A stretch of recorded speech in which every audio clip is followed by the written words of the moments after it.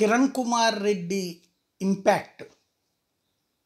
వాస్తవంగా ఆంధ్రప్రదేశ్కి మంచి బెనిఫిట్ భారతీయ జనతా పార్టీ. కానీ తెలంగాణ వాళ్ళు అంగీకరించరనడానికి సాక్ష్యం భారతీయ జనతా పార్టీ ఇవాళ కిషన్ రెడ్డి ప్రమాణ స్వీకారానికి హాజరైన బాధ్యతల స్వీకారానికి హాజరైనటువంటి సందర్భంలో అదే కార్యక్రమానికి హాజరైన విజయశాంతి అభినందనలు చెప్పేసి వెళ్ళిపోయారు.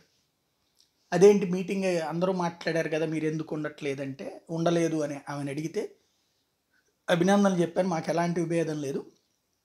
బట్ కిరణ్ కుమార్ రెడ్డి ఆ వేదిక మీద ఉండటం నాకు నచ్చలేదు.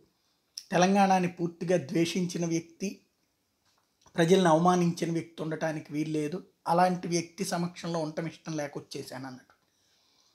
ఇది భారతీయ జనతా పార్టీకి సంబంధించిన అతిపెద్దదైనటువంటి చిక్కు. వాస్తవంగా తెలంగాణ కార్యకలాపాలకి పిలవకుండా ఉండాల్సింది. ఆయన ఆంధ్రాకి పరిమితం చేయడం కరెక్ట్. ఎందుకంటే రాష్ట్ర విభజన అన్నటువంటి దాన్ని అడ్డుకోవడానికి ప్రయత్నించారని ఆంధ్ర ప్రజల్లో ఒకంత సింపతి ఉంది బట్ దాన్ని క్యాష్ చేసుకునేటువంటి సిచ్యుయేషన్లో ఇక్కడ భారతీయ జనతా పార్టీ లేదు. కాబట్టి కిరణ్ కుమార్ రెడ్డికి హైదరాబాద్లో మంచి ఆదరణ ఉంది. ఆంధ్ర అక్కడ సెటిలర్స్లో ఆదరణ ఉంది. ఆ కోణంలో ఏమైనా ఎక్స్పెక్ట్ చేశారేమో. ఇంకొకటి మాజీ ముఖ్యమంత్రిగా చేసిన ఆయన వెళ్తే అభినందించడానికి వద్దని ఎట్లా అంటారు? సహజంగా ఉంటుంది.